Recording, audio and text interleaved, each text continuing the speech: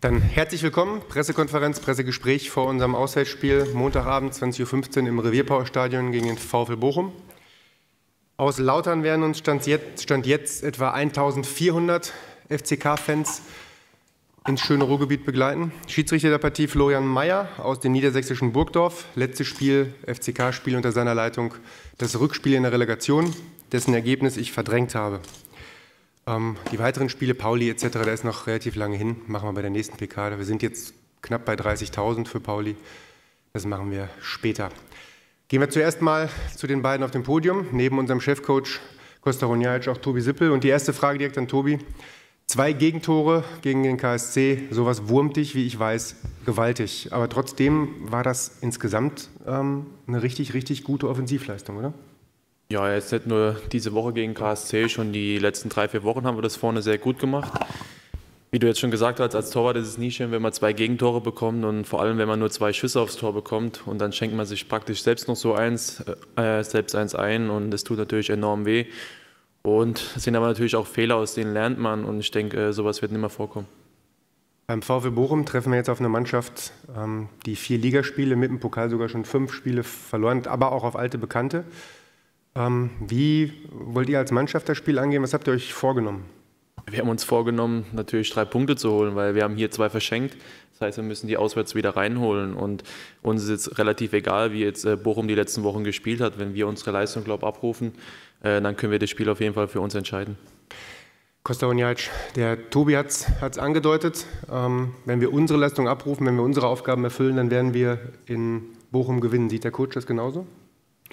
So selbstverständlich, wie ihr zwei das hier so darstellt, wird es sicherlich nicht sein. Äh, das haben wir haben vor, jedes Spiel äh, zu gewinnen oder gewinnen zu wollen. Das ist klar. Ähm, VfL steht unter Druck. Äh, ihr habt es angesprochen, die Niederlagenserie ist sicherlich auch bei den Spielern in den Köpfen. Ja, Bochum will die Angst besiegen. Sollten sie das nicht schaffen, wissen wir auch, dass Angst zu Lähmungen führen kann. Und dennoch VfL will nicht weiter nach unten. Wir wollen mindestens da bleiben, wo wir momentan uns befinden in der Tabelle.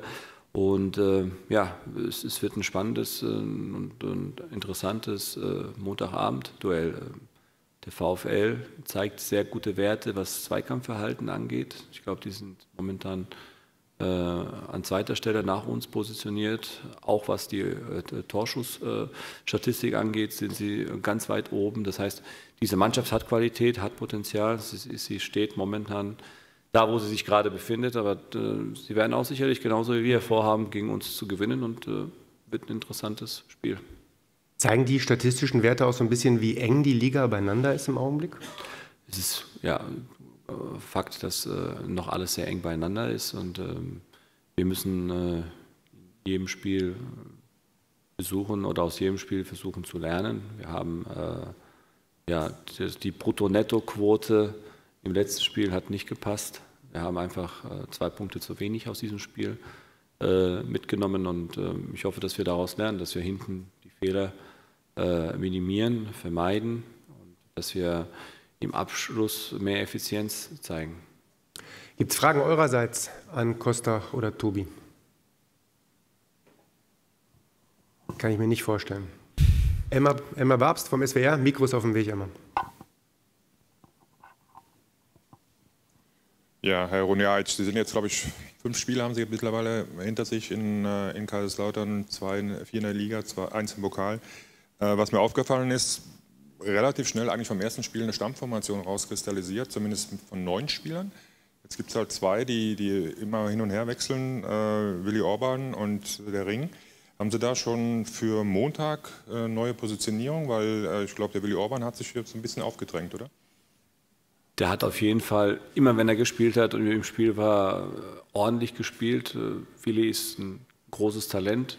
Ich traue ihm sehr viel zu. Er ist bei weitem nicht am Ende seiner Entwicklung und äh, macht Spaß mit ihm zu arbeiten. Es macht auch Spaß, äh, äh, ihn im Spiel zu sehen.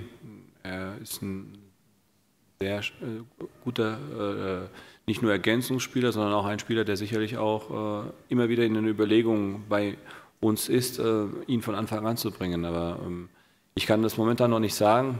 Wir haben morgen nochmal Training und am Sonntag. Und bis Montag ist noch ein bisschen Zeit. Äh, morgen wird sicherlich auch der eine oder andere auch äh, in der U23 eingesetzt. Hier ist auch ein Derby gegen, gegen der U23 von FSV Mainz. Und ähm, ähm, es ist Fakt, dass wir äh, mit quasi immer acht oder neun Spielern bisher äh, die gleiche Stammformation äh, gezeigt haben. Aber ich, ich, glaube, am Montag werden wir sicherlich die eine oder andere Position äh, neu besetzen.